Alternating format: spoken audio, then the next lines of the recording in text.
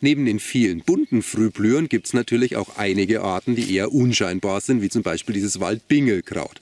Aber stille Wasser sind ja bekanntlich tief und deswegen lohnt sich auch hier genauerer Blick. Zum einen super Verteidigungsstrategie, tödlich giftig für alle Wiederkäuer wie zum Beispiel Rehe und Hirsche.